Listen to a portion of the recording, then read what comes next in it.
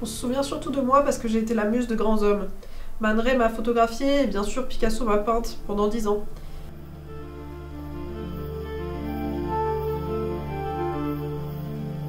Pour l'éternité, il a fait de moi la femme qui pleure et une figure tourmentée.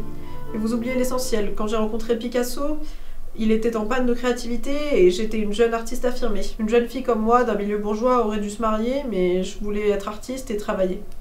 À 23 ans, j'ai publié ma première photographie et à moins de 30 ans, j'avais déjà mon propre studio photo. C'était vraiment loin d'être la norme à l'époque.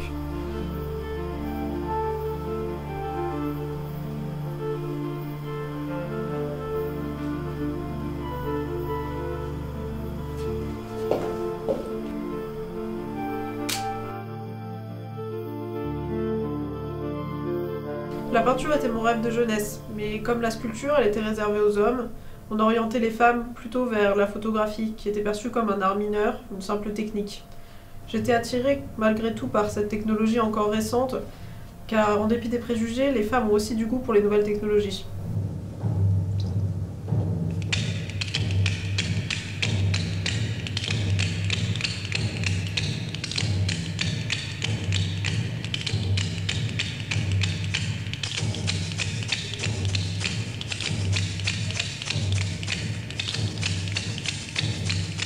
J'ai réalisé des photographies commerciales, je répondais à toutes sortes de commandes pour des grands stylistes ou des défilés de mode. J'ai également réalisé des publicités pour des shampoings, des crèmes solaires ou des crèmes anti-rides.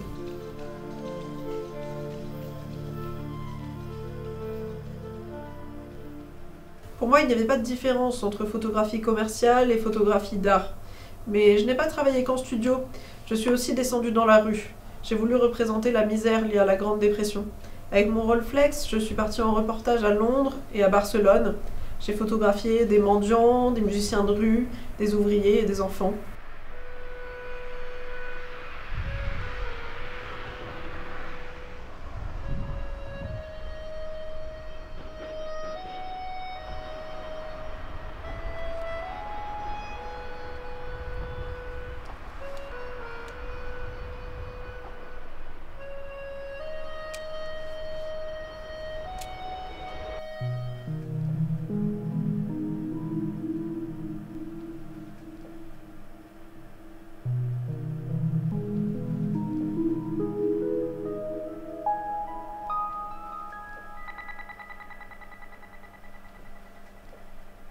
Mes portraits représentaient une situation sociale. Dans les années 30, j'ai fréquenté le groupe d'extrême gauche Octobre, une troupe de théâtre euh, fondée par les frères Prévert. Nous étions un groupe d'artistes révolutionnaires. Ce fut ma façon de participer au combat antifasciste. Je n'ai pas milité, ni appartenu à un mouvement féministe, mais j'ai vécu une vie de femme libre et d'artiste accompli. Clouseau s'est d'ailleurs inspiré de moi pour son personnage de photographe de caractère dans son film Quai des Orfèvres. Mes premiers travaux ont exploré l'érotisme du corps féminin. Je respectais les canons en vigueur. Mais très vite, ce corps est devenu un terrain d'expérimentation surréaliste. Par mes photomontages, j'ai cherché à montrer un autre visage du féminin. J'ai aussi photographié mes amis artistes, tout aujourd'hui seulement connus pour leur rôle de muse. J'ai photographié par exemple Jacqueline Lamba, la compagne d'André Breton, et Nuche, l'épouse de mon ami Paul Éluard. Par mes superpositions et mes jeux d'ombre, j'espère avoir pu montrer d'elle une image plus complexe et plus subtile. J'ai appartenu au groupe des surréalistes dès 1933. Je découpais des magazines ou mes propres photos pour réaliser des collages et ainsi créer des photomontages. Mes photos étaient publiées dans la revue surréaliste Minotaur. À l'époque, il n'y avait pas d'effets spéciaux numériques ni d'ordinateur, alors mes photos créaient sur le public une sorte d'impression de rêve étrange ou de songe, comme des clichés d'un autre monde. Je cherchais à faire surgir le merveilleux du banal.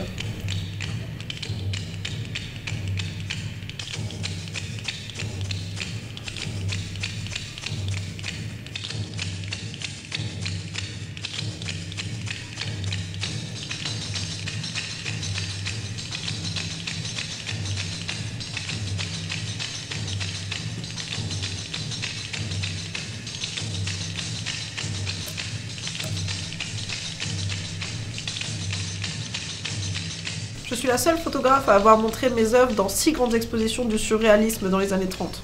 Et mon portrait du but, une photo d'un fœtus de tatou, est devenu une icône du surréalisme.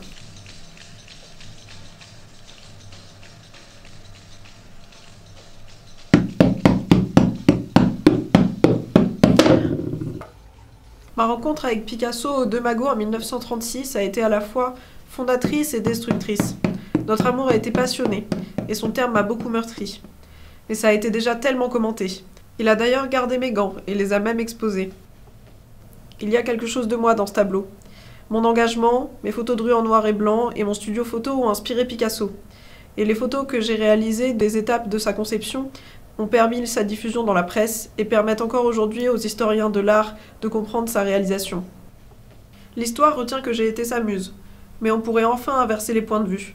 Il m'a moi aussi beaucoup inspiré, il a été mon modèle, et il m'a poussé, pour le restant de ma vie, à revenir à ma première envie, la peinture.